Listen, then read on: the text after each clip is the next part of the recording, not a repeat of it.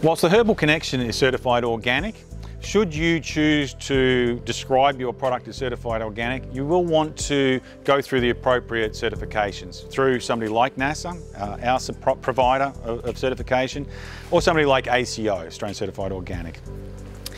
You can certainly um, refer to our, our ingredients as being certified organic on your packaging, um, would advise that you get some advice through one of those certifying bodies as to how you use logos and things of that nature.